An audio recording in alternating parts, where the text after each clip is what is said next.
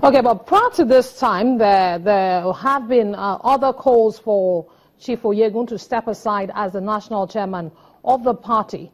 Could it be that um, uh, perhaps a faction of the party might have lost interest in his style of leadership or some things he's done as a leader of the party?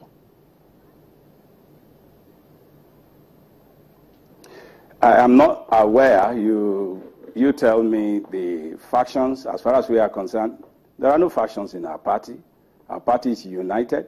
Our leaders are together.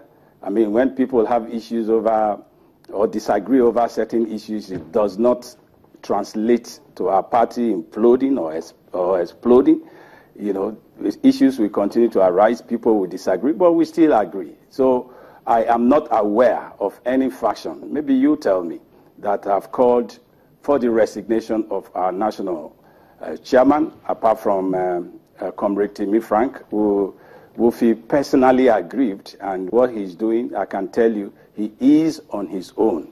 He is not doing it because anybody is asking or uh, doing the bidding of any faction within the party. He is just aggrieved that he was not given the opportunity to act or, or to be admitted into the NWC of our party. We consider it personal. He's just on a personal vendetta, and he has demonstrated, even on your program yesterday, that he's pursuing narrow, selfish interest that is against the interest of the party. He has demonstrated absolute disloyalty in every ramification.